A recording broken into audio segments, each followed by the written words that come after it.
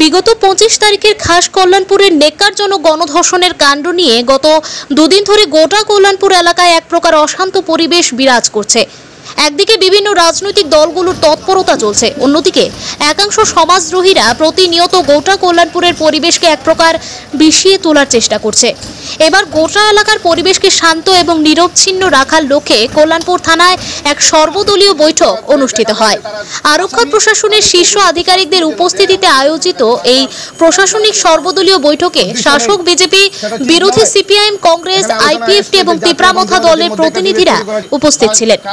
এক সব দলের প্রতিনিধিরাই গোটা এলাকায় যাতে শান্তি, সম্প্রীতির পরিবেশ বজায় থাকে এবং এর পাশাপাশি নেকারজনক ধর্ষণের ঘটনার সাথে যারা জড়িত, তাদেরকে প্রশাসন যাতে অনতি বিলম্বে গ্রেপ্তার করে সেই দাবি জানান।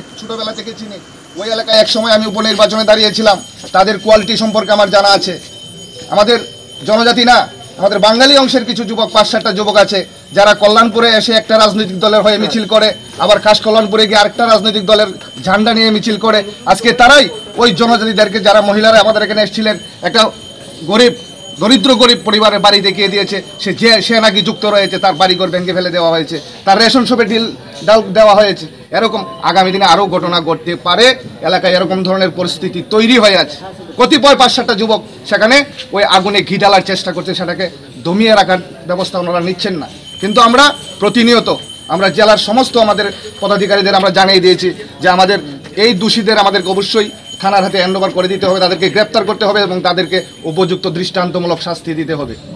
কাজেই আমি আরক্ষা প্রশাসনের কাছে এবং এখানে এডিশনাল এসপিও সাহেব আছেন, আমাদের জেলার আর প্রশাসনের প্রতিনিধি হিসাবে আমি ওনার কাছেও দাবি রাখব এরকম কিছু কতিপয় যুবককে যদি আমরা ইতিমধ্যেই তাদেরকে আমরা সংযত করতে না পারি, তাদেরকে যদি আমরা সায়স্ত না করতে পারি, তাহলে আগামী দিনে এখানের জল শুধু খাস কল্যাণপুরেই থাকবে না, সেই জল আরও বহু দূর গড়াতে পারে। কাজেই এক্ষুনি তাদের বিরুদ্ধে ব্যবস্থা নেওয়া দরকার।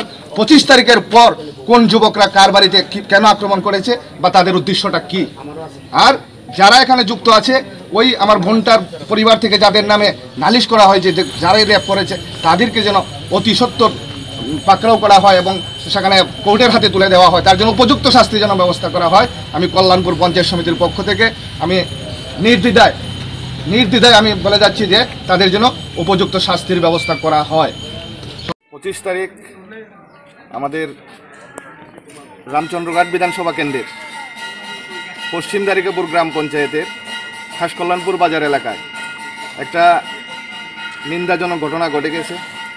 যেখানে আমাদের একটা জনজাতি বোনকে সেখানে র্যাপ করা হয়েছে। এবং তার পরবর্তী সময়ে যেটা না বললে নাই হয়, আজকে এখানে আমি সর্বদলীয় বৈঠকে উপস্থিত ছিলাম, আমি বলেছি। ত্রিপুরা রাজ্যে পঁচিশ বছর যাবত আমরা দেখেছি। এবং পাঁচ বছরের জোট আমল, যে কংগ্রেস জোট সরকার ছিল, সেটাও আমরা দেখেছি। আমাদের এই জেলায়, খোয়াই জেলায়, সেখানে উজান ময়দানে যে ঘটনা ঘটে গিয়েছিল, ওই জোট আমলের উজান ময়দানের ঘটনাকে নিয়ে পঁচিশ বছর যাবৎ আমাদের ওই সিপিএমের কথা শুনতে হয়েছিল। সেই দিনও আমরা দেখেছিলাম একটা আসামি গ্রেপ্তার হয়নি। কিন্তু গত পঁচিশ তারিখ যে ঘটনাটা ঘটলো, আমরা তার নিন্দা জানাই। এবং আমরা দেখতে পেয়েছি আমাদের পুলিশ প্রশাসন, কল্যাণপুর আরক্ষা দপ্তর এবং জেলা পুলিশ প্রশাসন চব্বিশ ঘণ্টার মধ্যে দুজন আসামিকে ধরে ফেলেছে। আর বাকি সমাজদ্রোহী দ্বারা বিশেষ করে ভারতীয় জনতা পার্টির প্রধান, উপপ্রধান তারাও জড়িত আছে। পঁচিশ তারিখ রাত্রে যে ঘটনাটা ঘটছে, এটা আমরা কংগ্রেস দলের থেকে তীব্র নিন্দা জানাই এবং আমরা অবিলম্বে আসামিদের গ্রেপ্তার এবং এলাকার শান্তি শৃঙ্খলা বজায় রাখানোর দিকে আজকে যে অল পার্টি মিটিং ডাকছে প্রশাসনের তরফ থেকে, আমরা এখানে উপস্থিত ছিলাম, আমাদের জেলা কংগ্রেস সভাপতিও উপস্থিত হয়েছে। আমরা একদম স্পষ্ট দেখতে বলা হয়েছে যে আসামিদের অ্যারেস্ট চাই আর এলাকার শান্তি শৃঙ্খলা, এটা মিশ্র বসতি এলাকা, এলাকাতে যাতে শান্তি শৃঙ্খলা বিরাজ করে। এবং ঘটনাটা তো জাতি বুঝাতি না। ঘটনাটা ব্যাপার হচ্ছে একদম লজ্জাস্কর ঘটনা। এটা আমরা তো এটা কোনোভাবেই মেনে নিতে পারতেছি এটা কল্যাণপুরের অসম্মান করা হয়েছে। সারা কল্যাণপুরবাসীরা অসম্মান করেছে। এইসব সমাজদ্রোহীদের অবিলম্বে গ্রেপ্তার করে দৃষ্টান্তমূলক শাস্তির ব্যবস্থা করতেই হবে।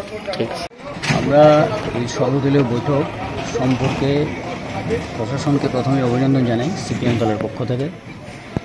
তো আমরা এটাই চাইব এলাকায় যাতে শান্তি সম্প্রীতির পরিবেশটা বজায় থাকে। ঘটনা তো উদ্বেগজনক দুঃখজনক। আমাদের দাবি হচ্ছে যারা প্রকৃত দোষী তাদের যাতে পুলিশ গ্রেপ্তার করে এবং তাদের দৃষ্টান্তমূলক শাস্তি দেয়। এবং এই ঘটনার পরিপ্রেক্ষিতে কোনো অনভিপ্রেত ঘটনা যাতে এলাকায় না ঘটে, তার জন্যে আমরা এলাকার সর্বস্তরের জনগণ এবং প্রশাসনকে সেখানে উদ্যোগ গ্রহণ করার জন্য আহ্বান রাখছি। এটাই হচ্ছে আমাদের পার্টির পক্ষ থেকে আমাদের じゃあ次歌うか。